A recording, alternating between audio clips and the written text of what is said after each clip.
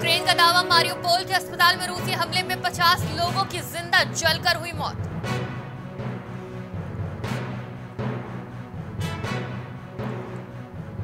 America की भारत को खुली धमकी, कहा रूस से गठबंधन की भारत को चुकानी पड़ सकती है कीमत। विश्व स्वास्थ्य दिवस पर बोले पीएम मोदी, आज स्वास्थ्य क्षेत्र से जुड़े लोगों के प्रति आभार व्यक्त करने का दिन। सीएम योगी का सख्त आदेश 10 खरब डॉलर की अर्थव्यवस्था के लिए योजनाबद्ध ढंग से करेगा। महँगाई की मार जारी, फिर बढ़े सीएनजी के दाम दो दशमलव पचास, यानी कि ढाई रुपए प्रति किलो हुई महँगी गैस।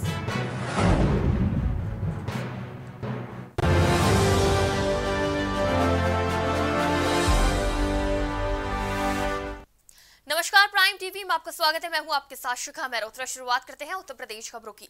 भाजपा कार्यालय में आयोजित कार्यक्रम में पहुँचे सांसद डॉक्टर साक्षी महाराज ने गोरखपुर मठ पर हमले की निंदा की। उन्होंने कहा कि योगी जी सबसे बड़े सूबे के मुख्यमंत्री हैं और गोरखपुर का मठ उनका है। बिना षड्यंत्र के हथियार लेकर कोई वहाँ प्रवेश कर नहीं सकता। बहुत ही दुर्भाग्यपूर्ण घटना है। योगी जी विश्व के सबसे बड़े सूबे के मुख्यमंत्री हैं। और गोरखपुर का मठ उनका मठ है। साधारणतया बिना योजना के, बिना किसी बड़े षड्यंत्र के धारदार हथियार लेकर के कोई व्यक्ति वहाँ प्रवेश नहीं कर सकता। मैं इनकी, इसकी निंदा करता हूँ, परंतु निंदा करने मात्र से इसका हल निकलने वाला नहीं है। कुछ असामाजिक तत्वों के या आस्तीन के सांपों के या अलगावादियों के इरादे नापाक हैं। मोदी जी और योगी जी के शासनकाल में जो शांति व्यवस्था, जो लोकतांत्रिक व्यवस्था, जो भाईचारा इस देश में कायम हुआ है उसमें विष घोलना चाहते हैं। भारतीय जनता पार्टी के स्थापना दिवस पर जनपद सीतापुर के सदर विधानसभा विधायक और उत्तर प्रदेश राज्य के नगर विकास मंत्री राकेश राठौड़ गुरु ने प्राइम टीवी के माध्यम से भारतीय जनता पार्टी की विशेषताओं को लोगों के सामने रखा। तो चलिए अब आपको सुनाते हैं इस दौरान यूपी के नगर विकास मंत्री राकेश राठौड़ गुरु ने और क्या कुछ कहा। हमारा यही एक देश था शुरू में कहते हैं कि विधायक हम नहीं, हमारा कार्यकर्ता है। हमको गुरु जी, गुरु कहते हैं लोग, जी चाहिए, जी हमको मिल गया, कार्यकर्ता विधायक बन गया। अब हमको ज़िंदा, हमको जिंदाबाद तो कुछ नहीं, हमको पूरी प्रदेश की सेवा करनी है, पूरे प्रदेश की, जो हमको इस पद पे जो मिले हैं, पच्चीस करोड़ की जनता की सेवा करने का मौका मिला है और सब अपने लोगों से यही सहयोग करते हैं कि कुछ सहयोग और कुछ आशीर्वाद दे, हम आगे बढ़ते चले। खबर अलीगढ़ से है, जहाँ अपराधियों और माफियाओं के साथ दबंगों द्वारा कब्जे की गई अवैध ज़मीन और संपत्तियों को ध्वस्त किया जा रहा है। इसी कड़ी में प्रशासन बीते 2 अप्रैल से जनपद में लगातार अतिक्रमण को लेकर अभियान चला रहा है। इस अभियान में एडीए ने अपनी कई प्रॉपर्टी खाली भी कराई है। एडीए की प्रॉपर्टी पर माफिया ने ट्रैक्टर एजेंसी खोल दी है। जिसे जेसीबी की मदद से खाली कराया गया है। एडीए ने अतिक्रमण अभियान चलाया है, तस्वीरों में देख सकते हैं आप, जिस तरह से अवैध संपत्तियों पर बुलडोजर चढ़ा चला है और उन्हें जमींदोज कर दिया गया है। आपको बता दें कि अवैध रूप से कब्जा की गई संपत्तियों पर लगातार सरकार की नज़र है और दबंगों द्वारा कब्जा की गई अवैध ज़मीन और संपत्तियों को ध्वस्त किया जा रहा है। इसी कड़ी में प्रशासन बीते 2 अप्रैल से जनपद में लगातार अतिक्रमण को लेकर अभियान चला रही है। इस अभियान में एडीए ने अपनी कई प्रॉपर्टी खाली भी कराई है। एडीए की प्रॉपर्टी पर माफिया ने ट्रैक्टर एजेंसी खोल रखी थी, जिसे जेसीबी की मदद से खाली कराया गया है।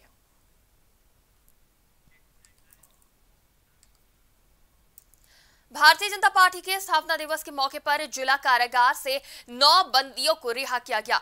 जानकारी देते हुए जेलर पीके सिंह ने बताया कि लखनऊ में डीजी जेल और जेल मंत्री सहित अन्य अफसरों की मीटिंग भी हुई थी, जिसमें निर्णय लिया गया था कि जेल में कुछ बंदी ऐसे हैं जिनकी सजा पूरी हो चुकी है और जुर्माना नहीं भर पा रहे थे और जुर्माने की सजा काट रहे थे। ऐसे बंदियों को रिहाई के निर्देश प्राप्त हुए थे। उसी क्रम में आदेशों का पालन करते हुए नौ बंदी रिहा किए गए।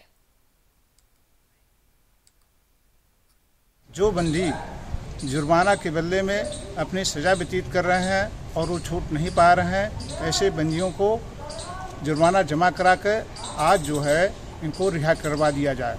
तो कुल ऐसे आल यूपी की जेलों में एक सौ छत्तीस प्रिजनर थे, जिसमें नौ प्रिजनर हमारे अलीगढ़ जेल के हैं, जिनका जुर्माना एक समाज सेवी उद्योगपति श्री मनोज गयाल, जो छत्तीसगढ़ के रहने वाले हैं, माननीय मंत्री के ज़रिए कल मुख्यालय में ही पैसा दिया गया है, जो यहाँ राजकीय कोष में जमा कर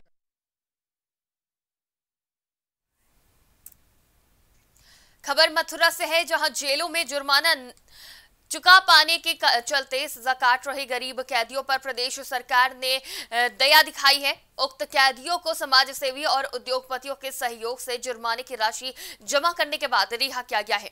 इस प्रक्रिया के तहत प्रदेश भर के कारागारों से कुल 136 कैदियों को एक साथ रिहा किया गया है जो कि अपना जुर्माने की रकम जमा नहीं कर पा रहे थे। इसमें मथुरा जिला कारागार से रिहा हुए चार कैदी भी शामिल है। बता दें कि भारतीय जनता पार्टी के स्थापना दिवस के उपलक्ष्य में और समाज सेवियों के सहयोग से इन्हें छोड़ा गया है।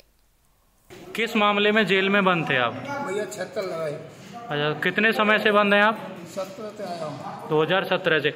अभी आज आपको रिहा किया जा रहा है तो जुर्माना आपके ऊपर कुछ बकाया रह गया था। क्या आपको जानकारी है इसकी पूरी? मेरे तो जितनी भट्टी दो जमा अच्छा तो कितना पैसा आपका जमा किया गया है प्रशासन द्वारा? बीस हज़ार। रुपये। आपका प्रशासन ने बीस हज़ार रुपये जमा किया है तो इसको किस तरह से देखते हैं और क्या कहेंगे सरकार के लिए? ये तो बहुत बढ़िया बहुत अच्छा है। बाहर जाके कोई गलत काम तो नहीं करोगे? नहीं करेंगे।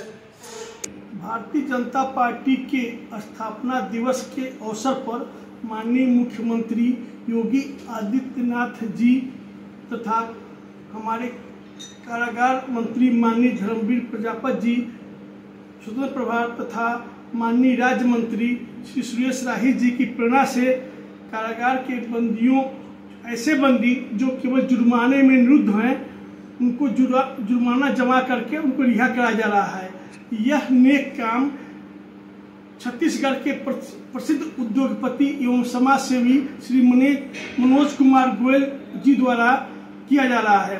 Shri Manoj Kumar Goyal M K ji making non for good foundation चलाते हैं। उनके सहयोग से प्रदेश की अड़तालीस कारागारों में कुल 135 निर्धन बंदियों को छोड़ा जा रहा है। उन उन सभी बंदियों पर आठ लाख पचहत्तर हज़ार दो सौ सत्तर रुपये जुर्माना की धनराशि है।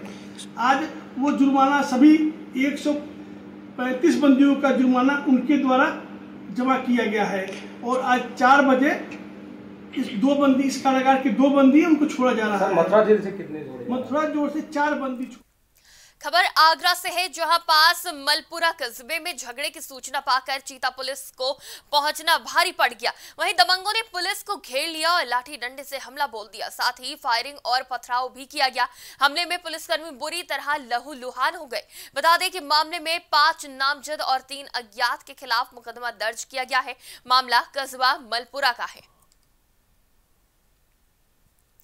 तो पुलिस कर्मियों पर हमला करने का ये मामला आगरा से सामने आया है, जहाँ पे दबंगों ने पुलिस को ही घेर लिया और जमकर लाठी डंडे बरसाए।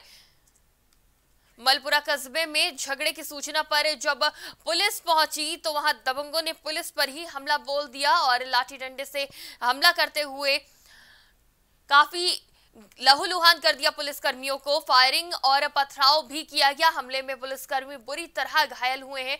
मामले में पाँच नामजद और तीन अज्ञात के खिलाफ मुकदमा दर्ज किया गया है। देखिए, घटनाक्रम थाना मलपुरा का है, और यहाँ कल रात एक महिला थाने पर आती है, जो शिकायत करती है कि उसके साथ कुछ लोग मारपीट कर रहे हैं। इस सूचना पर थाने की कस्बा चेता मोबाइल मौका पर जाती है, और वहाँ जाते ही जैसे ही वो उन लोगों को बुलाती है, इस पर ही पाँचों लोग जो उस पर पुलिस पर हमलावर हो जाते हैं, जिस पर दोनों हमारे जवानों, कांस्टेबल की चोटें आ जाती हैं। सूचना पर तत्काल हमारे थाना प्रभारी मौके पर पहुँचते हैं और वहाँ पर दो लोगों की अरेस्टिंग करते हैं। तीन लोग वहाँ से भाग जाते हैं और आगे मुकदमा लिखकर इनके खिलाफ कार्रवाई की जा रही है और आगे जो शेष लोग हैं अभियुक्त हैं उनकी गिरफ्तारी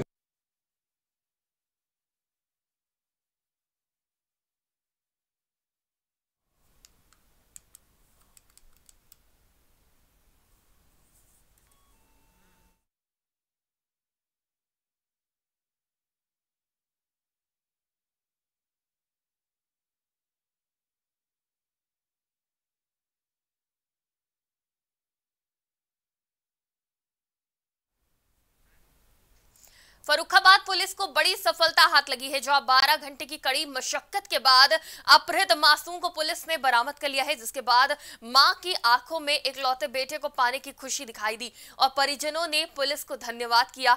आरोपी रीमा देवी और उसके एक साथी को कमालगंज के ग्राम चाचूपुर से एसओजी टीम के द्वारा दबोचा गया है और उसके पास से आदित्य को भी बरामद किया गया है।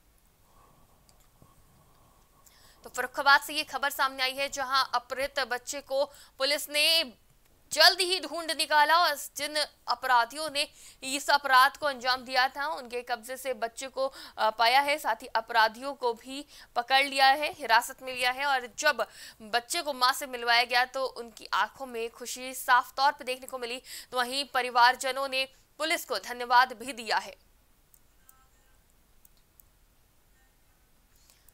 तो पुलिस का सराहनीय काम देखने को मिला है फरुखाबाद से, जहाँ पुलिस को बड़ी सफलता मिली है अपहृत बच्चे को जल्द से जल्द ढूंढा गया पुलिस द्वारा और उसके परिजनों से मिलाया गया, जिसके बाद माँ की आँखों में खुशी साफ़ देखने को मिली? लड़की को फ्रूटी पिला दे हमने कहा भैया पिला दो। जब इसने फ्रूटी पिलाई तो उठा के ले गई उसको अच्छा तो पहचानती हम लड़की को? हाँ मेरे पड़ोस की है। क्या नाम है उसका? डोली। डोली। अच्छा तो ये मतलब कितने साल की होगी लगभग? लड़की है ग्यारह साल की। अच्छा बच्ची उठा ले गई थी। हाँ। अच्छा फिर आपको फिर जब तक कितनी देर बाद बच्ची नहीं आई? वापस कब तक नहीं आई? फिर वो आई नहीं पाँच बज गया। अच्छा उठा, उठा कितने बजे ले गई थी? दो बजे। दो बजे। तो हमने कहा आ रही होगी? अब आ रही हम पूरे में ढूंढ चुके भैया कादरी आदरी गेट जने कहाँ कहाँ ढूंढी आए हम्म। जब नहीं मिली तो हम कोतवाली आए। हमें क्लू मिले उसके आधार पर जो बच्चा है उसको हमने चाचूपुर गाँव जो कि कमालगंज के अंतर्गत है वहाँ से अभी रिकवर किया है। और जो अभी तक पूरी चीज़ें समझ में आई है और जो इंट्रोगेशन में पता चला है कि जो ये रीमा वर्मा है जो दिल्ली रहती है पिछले सात दिन से यहाँ पे आई हुई है। इसका इसके दिल्ली में भी ह्यूमन ट्रैफिकिंग के अंदर मुकदमे दर्ज हैं। और ये एक प्रोफेशनल है जो कि छोटे बच्चों की खरोद फरोख्त ख़रीद फरोख्त के अंदर ये काम करती है। पिछले सात दिन से ये यहाँ पर आकर एक प्लानिंग के तहत कि किस तरीके से बच्चे को यहाँ से ले यहाँ से पांचाल घाट लेके जाना है और वहाँ से फिर इसको जो ये चाचूपुर में जहाँ से बच्चा बरामद हुआ है, उनके हैंडओवर करना है। उसी की ये पूरी तैयारी पे थी आज इसको मौका मिला। तो मौका मिलकर मिलते ही इसने जो डोली नाम की लड़की थी, छोटी वाली, उसके और उसकी माँ के साथ मिलकर इस बच्ची को अलीगढ़ के टप्पल थाना क्षेत्र में दुकान बंद करके घर जाते समय एक सुनार से बाइक सवार तीन बदमाशों ने लूट की घटना को अंजाम दिया। बदमाशों ने सुनार से 25 ग्राम सोना और तीन हज़ार एक सौ रुपए लूटे, मौके से फरार हो गए। वहीं लूट के बाद बाइक से भागते बदमाश पास में लगे सीसीटीवी कैमरे में कैद हो गए, जबकि इस घटना की सूचना पर पुलिस पहुँची। मामले की जाँच पड़ताल में जुट गई है, साथ ही बदमाशों की गिरफ्तारी के लिए पुलिस ने तीन टीमें गठित की हैं। जब वो मानपुर क्षेत्र से जा रहे थे, बाजौता ग्राम के रहने वाले हैं, मानपुर क्षेत्र से जा रहे थे तो उनके पास एक लाल रंग का शोल्डर बैग था, जो तीन अज्ञात बाइक सवार युवकों ने उनसे छीन लिया। इस संबंध में मुकदमा दर्ज कर कार्रवाई की जा रही है। थाना टप्पल अंतर्गत तीन टीमें बना दी गई हैं, जिसमें सर्विलांस टीम भी है। जल्द से जल्द घटना का खुलासा कर कार्रवाई की जाएगी। मानपुर में मैं दुकान करता हूँ जी। किस चीज़ की सुन दुकान दुकान जी यही सोने चांदी की। जी। छोटी सी दुकान है। तो मैं अपनी दुकान बढ़ा के इसी रास्ते से जा रहा था। तो तीन बंदे अपाची पे और मुझे रोक लिया रास्ते में और सामान वामान मोबाइल वगैरह छीन के ले गए अच्छा कितना साम, सामान तक क्या था? सामान उसमें से कुछ तेईस चौबीस ग्राम सोने का सामान था और इकतीस सौ रुपये मुझ पर नकद थे और मोबाइल। फिर इसके इसके बाद कहाँ गए आप? इसके बाद जी मैं यहाँ इधर उधर देखा तो किसी कोई मिला नहीं आदमी। तो थोड़ी देर, दस मिनट के बाद इधर से आदमी आ रहे थे, यहाँ गाँव है इधर से। तो मैंने उनका फ़ोन लिया, फिर अपने घर फ़ोन किया। बहराइच पुलिस ने सनसनीखेज दोहरे हत्याकांड का खुलासा किया है। पुलिस ने हत्या का खुलासा करते हुए दो शातिर हत्यारे दोस्तों को गिरफ़्तार किया है। अपर पुलिस अधीक्षक ग्रामीण अशोक सिंह ने बताया कि महिला के साथ युवक का अवैध संबंध चल रहा था, जिस पर महिला युवक से शादी करने का दबाव बना रही थी। इससे पहले इसको लेकर पहले युवक ने अपने दोस्त के साथ मिलकर महिला की गला रेत कर हत्या कर दी। वहीं मृतका के बच्चे को भी दूर ले जाकर जंगल में गला रेत कर हत्या कर दी गई। के बेटे दोनों के सबका पोस्टमार्टम कराने के बाद हम लोगों ने सर्विलांस टीम जो कि पुलिस अधीक्षक होते के निर्देश पे घटना का अनावरण करने के लिए लगाई गई थी। थाना रुपैडिया और सर्विलांस टीम और हम सभी लोगों ने प्रयास करके इसमें दोनों नामित अभियुक्तों को गिरफ़्तार किया है, साक्ष्य एकत्र किए गए हैं और घटना में प्रयुक्त आला कत्ल, मृतका की चप्पल और घटना में प्रयुक्त मोटरसाइकिल बरामद कर ली गई है। गिरफ़्तार शुदा दोनों व्यक्तियों को नियमानुसार रिमांड के लिए प्रेषित किया जा रहा है और इसमें साक्ष्य एकत्रीकरण की कार्रवाई है। कोलकाता नाइट राइडर्स ने रोमांचक मैच में मुंबई इंडियंस को पाँच विकेट से हरा दिया। इस मुकाबले में कोलकाता के लिए पैंट कमिंस ने महज पंद्रह गेंदों में छप्पन रनों की नाबाद पारी खेली। कमिंस ने हाथ से फिसल रहे मैच को केकेआर की झोली में डाल दिया। केकेआर की जीत के बाद कप्तान श्रेयस अय्यर ने पैट कमिंस की तरफ़ तारीफ़ की और साथ ही इस मुकाबले में मुंबई ने पहले बैटिंग करते हुए 20 ओवरों में एक सौ इकसठ रन बनाए। इसके जवाब में केकेआर ने 16वें ओवर में मैच जीत लिया। केकेआर के लिए कमिंस ने 15 गेंदों का सामना करते हुए छह छक्के और चार चौके की मदद से नवाद छप्पन रन बनाए, जबकि वेंकटेश अय्यर ने नवाद 50 रन बनाए। वेंकटेश ने इस पारी में छह चौके और एक छक्का भी लगाया।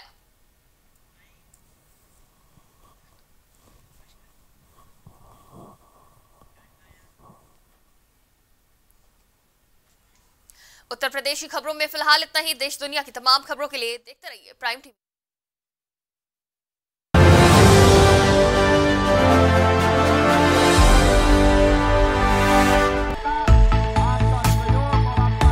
कुछ पुष्प। आप देख रहे हैं प्राइम टीवी सच साहस सरोकार।